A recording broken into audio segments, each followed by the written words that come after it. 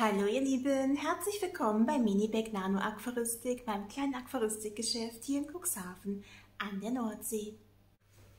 Heute möchte ich mit euch über zehn meiner persönlichen Meinung nach sehr wichtige Faktoren in der Garnelenhaltung oder Garnelenzucht vor allem auch sprechen. Äh, es geht hier tatsächlich nur um die zehn Sachen, die für mich persönlich am wichtigsten sind. Mir ist natürlich vollkommen klar, dass es bei anderen Leuten vielleicht anders funktionieren kann. Dass es nicht nur zehn Faktoren in der Garnelenhaltung gibt, ist mir auch klar. Aber wenn ich da alles bedenken würde, dann würde das Video ja drei Stunden lang sein. Also ich habe mich jetzt auf die zehn für mich persönlich wichtigsten Sachen beschränkt. Ähm, wenn ihr meint, da fehlt noch irgendwas oder wenn ihr da ganz anderer Meinung seid, dann schreibt das super gerne in die Kommentare. Ich tausche mich da sehr, sehr gerne aus. Der erste Faktor sind natürlich die Wasserwerte. Achtet bitte darauf, dass die Wasserwerte in dem angegebenen Bereich sind. Es muss nicht unbedingt ganz genau die Werte sein, die bei dem Züchter oder bei dem Verkäufer herrschen. Äh, oft werde ich danach gefragt, macht euch da bitte nicht allzu sehr verrückt. Es gibt eine Bandbreite für jedes einzelne, für jede einzelne Tierart, ähm, die auch wirklich dann in Ordnung ist. Also macht euch nicht verrückt, da die ha genau auf die Kommastelle genau diese Werte Werte zu erreichen, die der Züchter oder der Händler hat.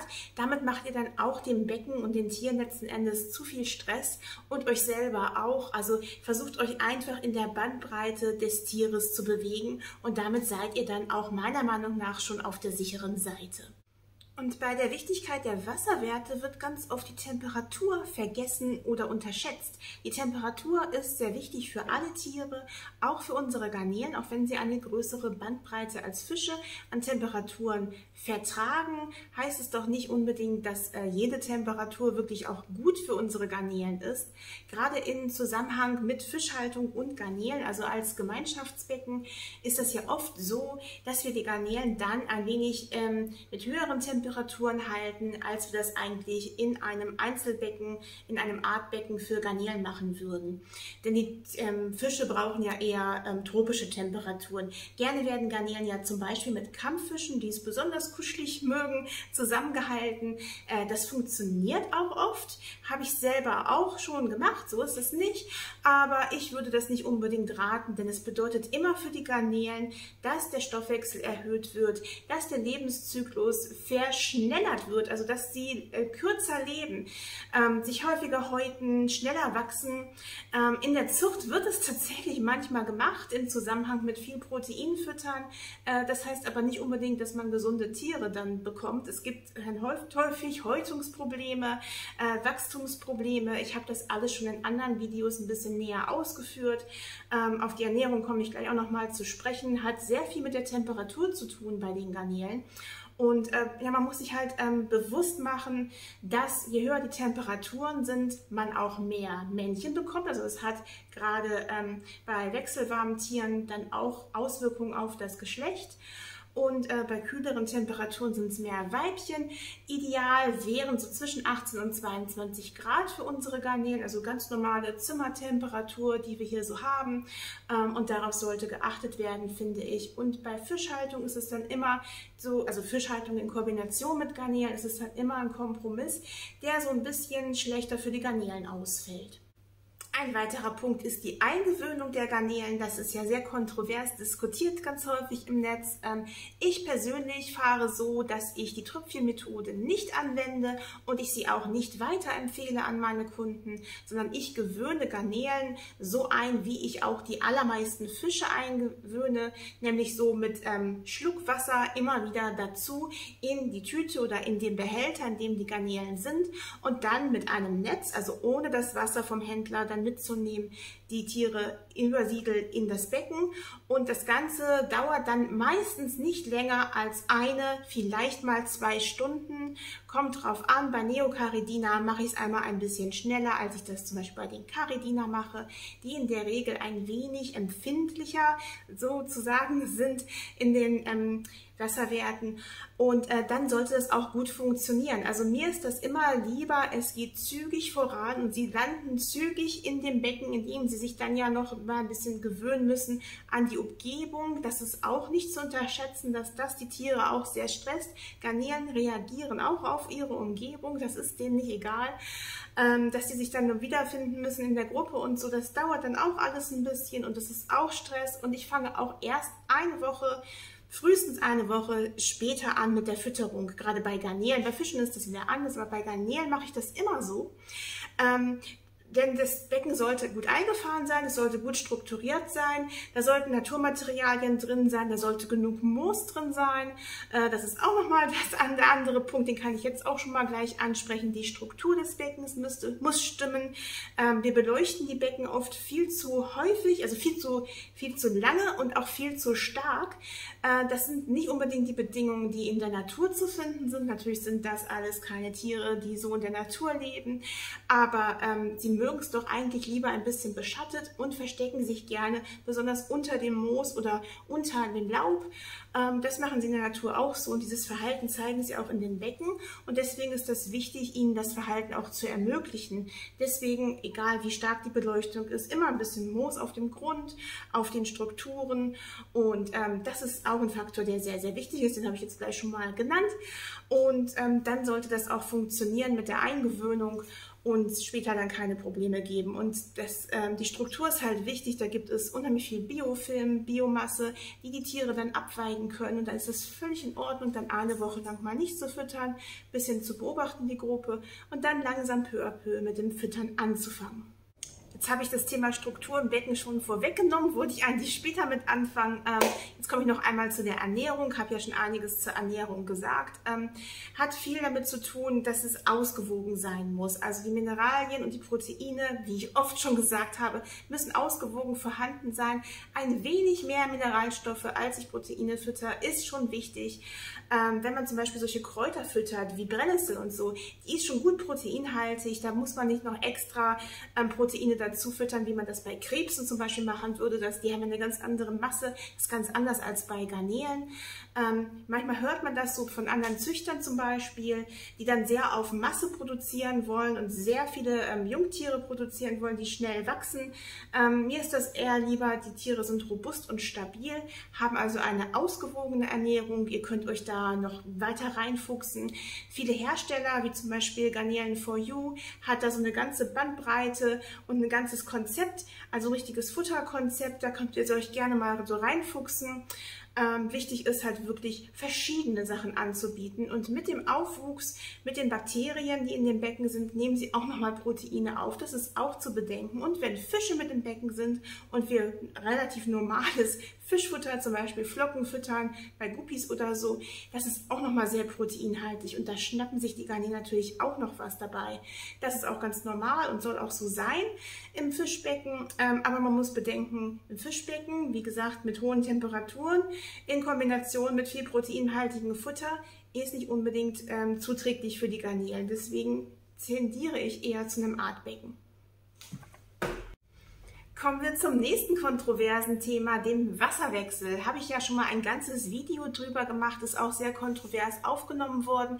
Ich stehe weiterhin dazu. Ich mache einmal wöchentlich einen Teilwasserwechsel von so ungefähr 30 Prozent, manchmal ein bisschen weniger, manchmal ein bisschen mehr, je nachdem, wie viel habe ich da gefüttert, ist da gerade viel Mulm im Becken, habe ich vielleicht ein anderes Problem, eine Bakterienblüte oder irgend sowas, dann wechsle ich schon mal ein bisschen mehr, ist das Becken völlig in Ordnung, habe ich gerade vielleicht vor kurzem den Filter sauber gemacht, dann mache ich nur einen ganz kleinen Wasserwechsel, das ist unterschiedlich, aber ich mache tatsächlich wöchentliche Wasserwechsel, das finde ich sehr wichtig, persönlich finde ich das sehr wichtig, das heißt nicht, dass ich jetzt euch sage, ihr müsst es unbedingt so machen, aber ich empfehle es so, weil ich damit gute Erfahrungen habe. In meinen Becken, die ihr hier hinten seht, das sind meine ähm, Zuchtbecken, meine Verkaufsbecken allerdings auch, ähm, da finde ich den Wasserwechsel besonders wichtig. In den Schaubecken, so wie dieses hier zum Beispiel, äh, das könnte natürlich auch mal ein, vielleicht sogar zwei Wochen ohne Wasserwechsel und dann nur mit destilliertem Wasser aufzufüllen sein. Das wäre auch in Ordnung, ähm, weil der Besatz einfach nicht so stark ist und ich da auch nicht so stark füttere wie in den Zuchtbecken. Darauf kommt es halt an. Das ist immer so ein bisschen, welches Ziel habe ich, wie ist das Becken strukturiert. Hier gibt es viel, viel mehr Struktur, die die Nährstoffe aufnehmen kann für unterschiedliche Pflanzen und so. Hier drin habe ich nur Moos. Das ist halt ein Unterschied. Ähm, und darauf muss man achten beim Wasserwechsel. Man kann das nicht generell sagen. Anfängern allerdings empfehle ich immer einen Wasserwechsel, weil ich der Meinung bin, man kann damit nicht, nichts falsch machen, es sei denn, man tauscht das komplette Wasser aus, was ja keiner macht, sondern ich empfehle ja einen Teilwasserwechsel, weil gerade Anfänger oftmals ein nicht allzu großes Becken haben, das sehr stark besetzt ist und das auch noch ein Gesellschaftsbecken ist, mit verschiedensten Fischarten, vielleicht so ungefähr ein 55 Liter Becken, sagen wir, sind fünf verschiedene Fischarten drin, hinzu auch noch die Garnelen. Natürlich empfehle ich da einen Wasserwechsel, das ist häufig so, so. Ist ja auch nicht schlimm, so haben wir alle ja irgendwann mal angefangen, weil es uns häufig oft empfohlen worden ist, so ein 55 Liter Becken als Gesellschaftsbecken einzurichten. Würde ich persönlich nie jemandem empfehlen, aber die Leute kommen manchmal halt schon mit diesem Becken praktisch hierher, sagen, sie haben so ein Becken aufgebaut und natürlich empfehle ich diesen Leuten einen Wasserwechsel. Äh, würdet ihr wahrscheinlich auch machen, weiß ich nicht, aber für mich ist das ganz klar, Wasserwechsel ist etwas, womit man nicht unbedingt was falsch machen kann. Und äh, es kommt den Tieren tatsächlich auch zugute. Ich kann es hier wirklich in meinen Zuchtbecken besonders beobachten.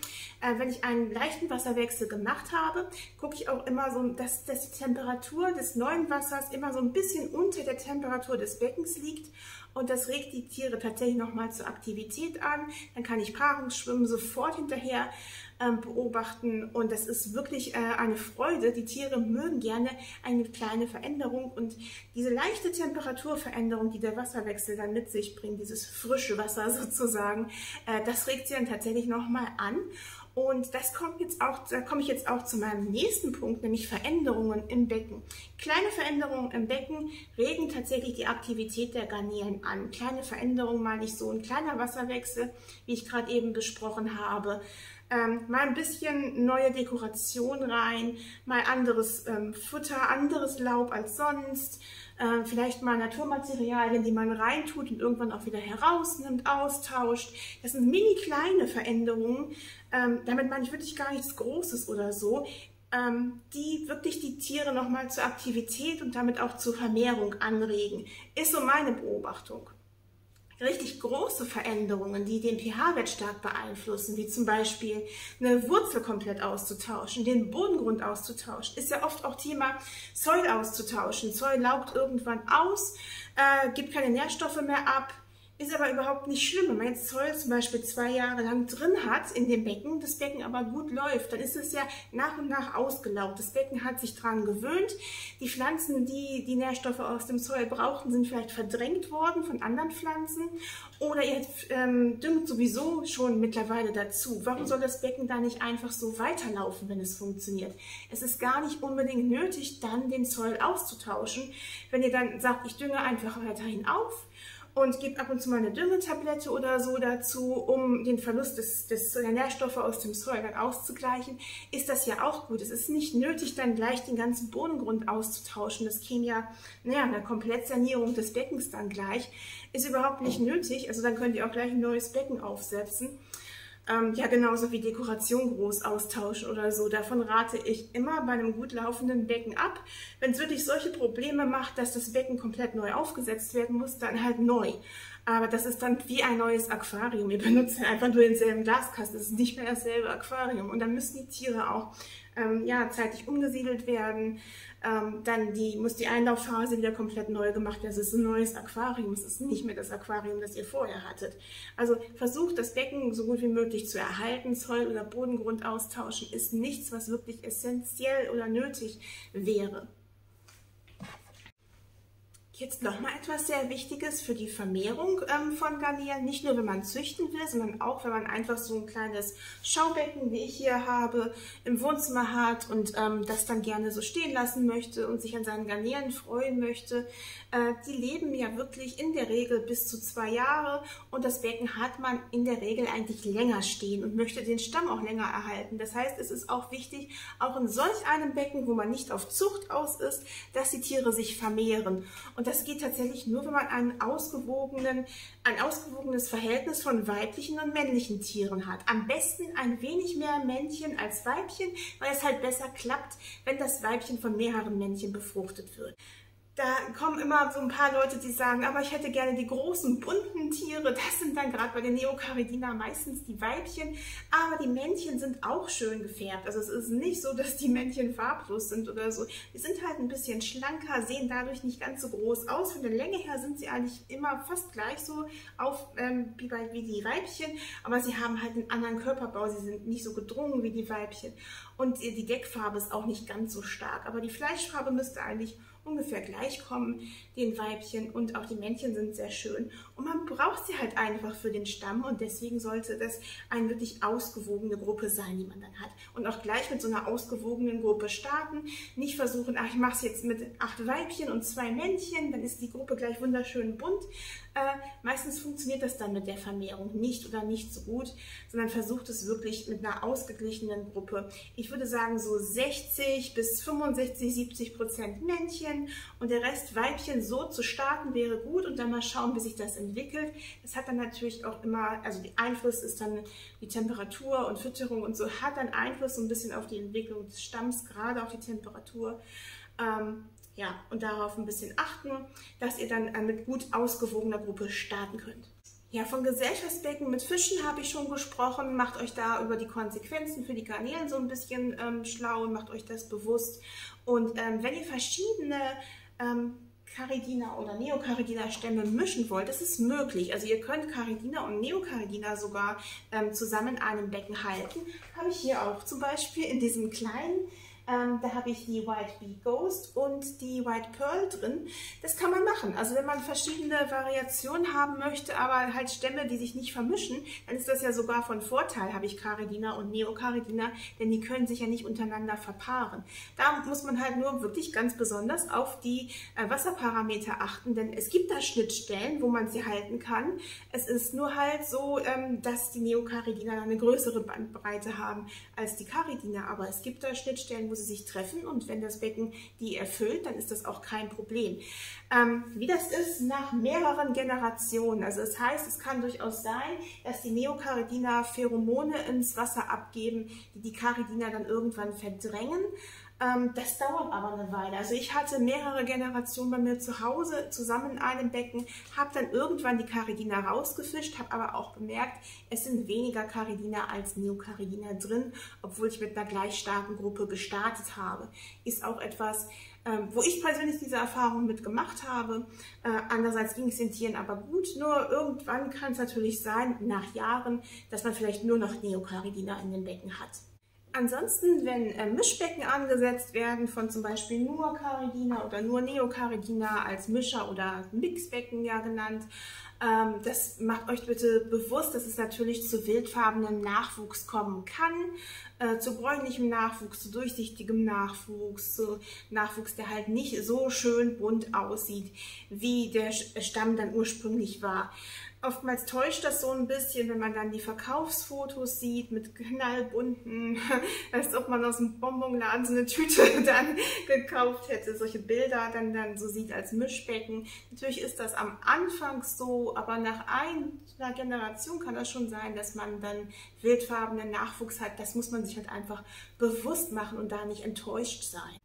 Und als letztes möchte ich noch die allergrößte Tugend, die wir in diesem Hobby mitbringen müssen, ansprechen. Das ist nämlich die Geduld.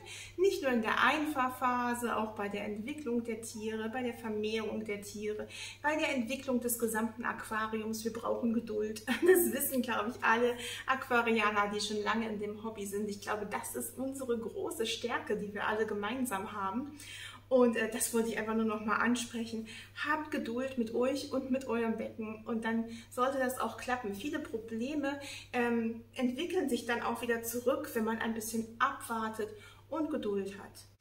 Das waren sie, meine zehn wichtigsten Garnelen-Tipps. Also falls ihr noch irgendwelche Ideen habt dazu, falls ihr noch einen Kommentar dazu habt, schreibt es hier unten in die Kommentarspalte rein. Dann sehen wir uns im nächsten Video und in den Kommentaren wieder. Äh, bis bald, ihr Lieben. Macht's gut. Ciao.